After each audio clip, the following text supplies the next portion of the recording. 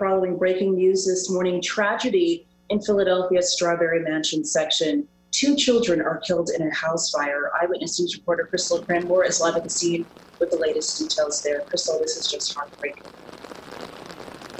It is. Good morning, Janelle. We're hearing those children were just two and four years old. As you can see behind me, a very active investigation as firefighters try to piece together what exactly led to the flames that ripped through this home here on the 2400 block of Myrtlewood Street here in the Strawberry Mansion neighborhood in Philadelphia.